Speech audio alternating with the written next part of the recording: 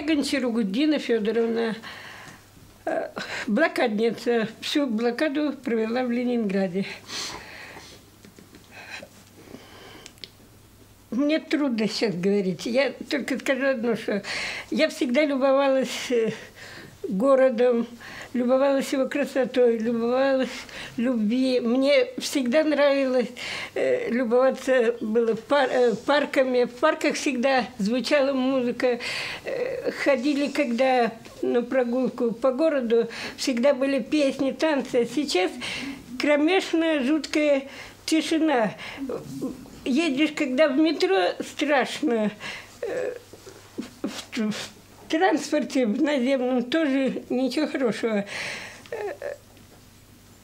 Когда начались военные действия у нас, ну, все волнения в Крыму или на ближнем, на, на восточной части Украины, просто невольно э, всплыли события, которые ведь совсем недавно, в январе, все вспоминали якобы о событиях с молодежью, э, которые проходили в январе.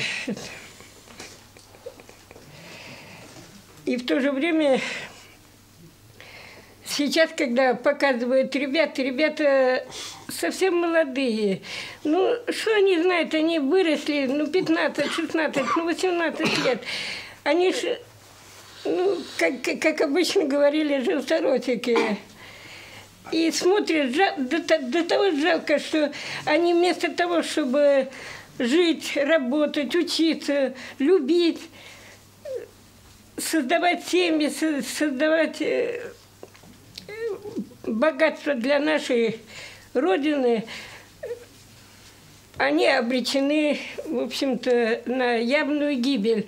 И почему бы нашему правительству не прекратить эту бойню, не отозвать, не прекратить... Э, и недаром же говорят, что лучше плохой мир, чем хорошая война. Ну зачем? Кому она нужна, эта война?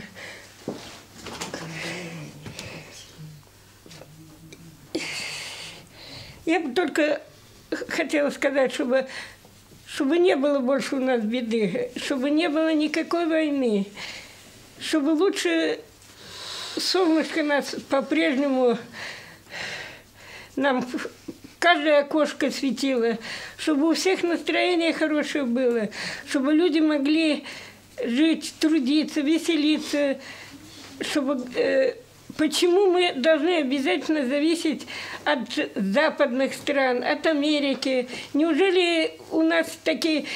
Ведь у нас столько мастеровых э, рук, я не, я не знаю, я просто диву даюсь.